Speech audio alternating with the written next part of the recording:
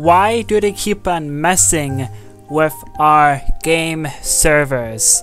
Lizard Squad, I'm talking to you. Why are you messing with our game servers? Look at this. Error, the Call of Duty Advanced Warfare servers are not available at this time. Please try again later. What is this? Come on, guys.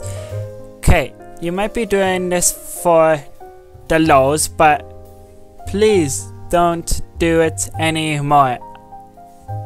I like playing my games. We're a big gaming community. Nobody likes these guys. Nobody likes these guys. But, um, they're a big issue. You guys really are a big problem to us. So, what can you do on your own time? I don't care. Just don't be messing with our game servers stay away from our computers in emails and everything like that. Stay away from Twitter and DDoSing us and all that crazy stuff that you guys have done. Don't do anything anymore. I go on to record a live commentary, but I can't because of this error message. They may be fixing the server, but they may not be. Like, um, I'm just annoyed. I am just annoyed.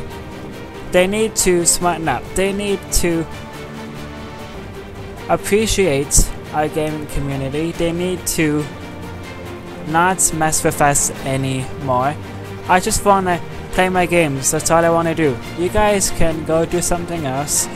Not be messing around with our stuff they try knock us down and ban us and DDoS us, but this, your plans is not gonna work forever.